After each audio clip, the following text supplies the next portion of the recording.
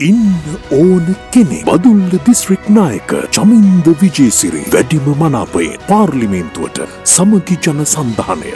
අපි දිස්ත්‍රික්ක විසි දෙක සඳහා දිස්ත්‍රික් මට්ටමෙන්ගේ සියලු නාම විජනපත්‍ර භාරදීල තියෙනවා.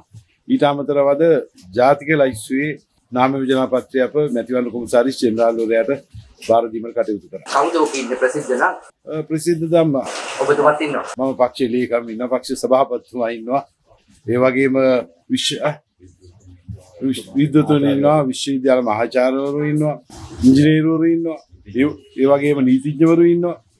මේ විදියට විශාල ප්‍රමාණයක් මේක ඉන්නවා. වෘත්තීය සමිති නායකයෝ ඉන්නවා කාන්තාවෝ ඉන්නවා.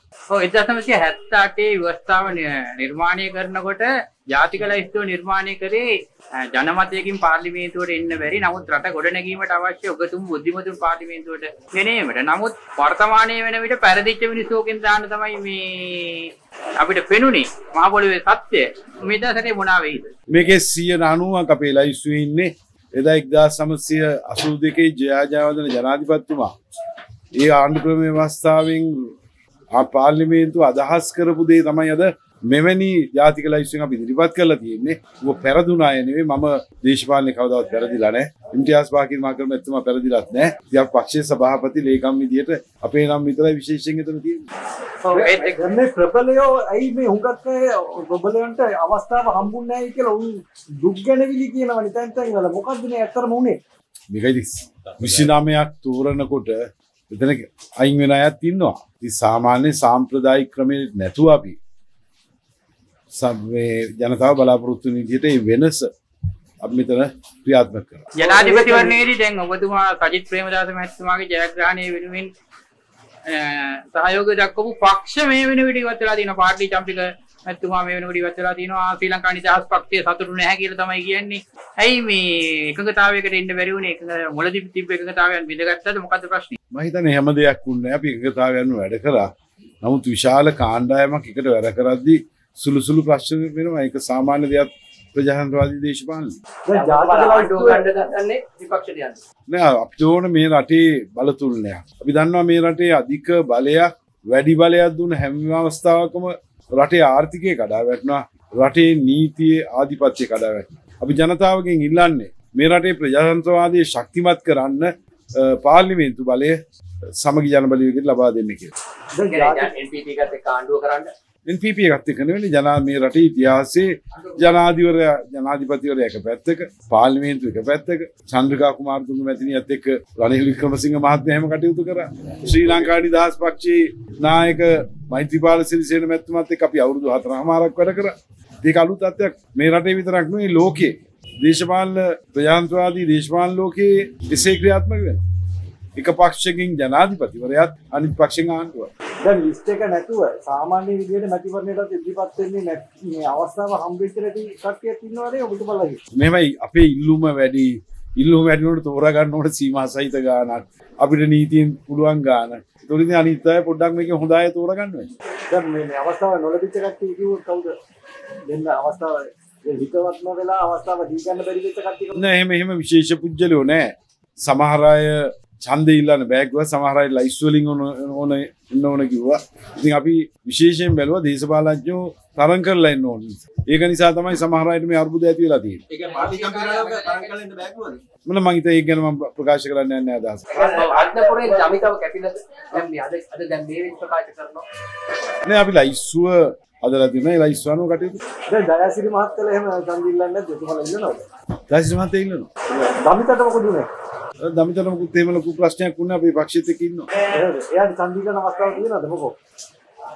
ඔව් මම හිතන්නේ ඔව්. රත්න එතුම එතුමිය මං හිතන්නේ ඡන්දේ ඉල්ලන්න බලාපොරොත්තු වුණා. නමුත් අපි තේරීමේදී අපි අර දිස්ත්‍රික්කයට ප්‍රමුඛත්වයක් ලබා දුන්නා. ඒක තමයි අපි ඉතින්දි ක්‍රියාත්මක කරපු ප්‍රතිපත්ති. ඔය දැන් අරගලයක් අරගලයක් කළා තරුණයෝ සහ මේ රටේ ජනතාව වෙනසක් ඉල්ලුවා සිස්ටම් චේන්ජ් එකක් ඉල්ලුවා 225 එපා කිව්වා මේ වෙන විට ඡන්දෙට ඉස්සෙල්ලාම 25ක් 50ක් විතර එළියට ගිහිලා තියෙනවා 225න් තුනක් එපා කිව්ව 225න් තුනක් දැන් ජනාධිපති අගමැති ආණ්ඩුවයි. නමුත් දැන් 25ක් 50ක් මේ වෙන විට ඡන්දෙ ඉල්ලන්නේ නැතුවම ප්‍රතික්ෂේප වෙලා සහ මොකද්ද මේ වෙන්නේ? දේශපාලනයේ වයසට යනකොට තමන්ට ඇති කියලා හිතනට එකකුල දේශපාලින් අයිගන එක සාමාන්‍ය ක්‍රමේ නැත්තම් මේ වර්තමාන රජයේ මේ වරප්‍රසාද කප්පාදු කිරීම තුළ මේ දේශපාලනය පාවිලා මහිත තාම ඒගොල කිව්වට තාම කිසි දෙයක් කරලා නෑ ඒ වරප්‍රසාද සියල්ල ලබාගත්ත උදවී තමයි ඔය ජනාධිපති අගමැතියෝ ඉන්න ඇමති එකොල වාහනජ්‍යත්තා එකොල්ල මහිතන්න පර්මිට් මේ පඩිගත්තා පාර්ලිමේන්තු භෝජනාගාරයෙන් කෑමත් කෑව. අපි ඉතින් බොහොම කැමති ඒවා මේ රට අර්බුදේ තියෙන වෙලා නවත්තන වන තාමාණ්ඩුවකට පියවරන්නේ තාම නායකතුමා ඉන්නේ අගමැති ධූරය ගන්න බලාපොරොත්තු වෙන්නද? යයිති දිනුවම ලැබෙන අගමැත්තුරේ ඒකනේ බලාපොරොත්තුවක් තියෙනවා. බලාපොරොත්තු නැතුව සටන් කරනවාද දැන් දැන් ඔබතුමාලට බහුතරයක් හම්බුනොත්නේ ඒ ඒ ප්‍රමාණ මේ අගමැති ධූරය පැහැදිලිවම ජනාධිපතිවරණ ප්‍රතිඵල අනුව ජනාධිපතිවරයට ලක්ෂ පනස් සපය කම්බෙනකොට එතුමට විරුද්ධව ලක්ෂ හැත්තහත පාවිච්චි කරලා තියෙන චන්ද ඒක අනුව මේ රටේ විපක්ෂයේ බහුතර බලය තියෙනවා. තිය අනුව මැතිවරණය ක්‍රියාත්මක වෙයි. නමුත් එද ඒ වෙලාවේ එකට හිටපු කණ්ඩායම මේ වෙනකොට බෙදිලා දෙමළ සන්ධානය වෙනම ඉන්නේ. එතකොට බෙදිලා නෙමෙයි යන්නේ? වෙදිල නෑ දෙමළ සන්ධානය තුරින් මිල්ුවයි වෙලායි සමහරය දව් කර සමහරය උදව් කරේ නෑ.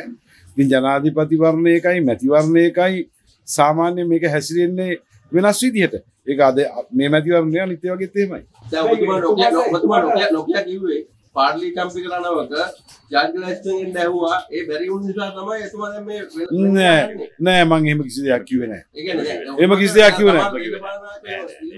නෑ. කිසි දෙයක් කිව්වේ නෑ. මං දේශපාලන නායකයෙක් ජාතික ලයිසන් ඉල්ලුවා කියලා කොහෙවත් කිව්වේ නෑ ඒ කියන්නේ දේශපාලනායකයෝ එහෙම ඉල්ලුවද? ජාතිලයිස්ට්ෙන් එන්නේ මම හිතනවා ඔයගොල්ල එක එක දේවල් මෙතන අවුල්ලන්නේ නැතුව කරුණා කරලා සාධාරණ විදිහට කතා කරන්න කියලා මම ඉල්ලා සිටිනවා. දැන් ජාතිලයිස්ට්ෙන් නෑ. ජාතිලයිස්ට්ෙන් ඉල්ලුවේ නැද්ද ඔබතුමාලගේ නායකතුමා දැන් අගමැති ධූරය ගන්න උත්සාහයක් තියෙනවා. සා- මේ ඒකම බලාපොරොත්තු වෙනවා. හැබැයි අනිත් මහත්යත් එක්ක එතුමාට අගමැති ධූරය කටයුතු කරන්න අවස්ථාව තිබිච්ච ඇයි එතුමා මග හැරෙන්නේ?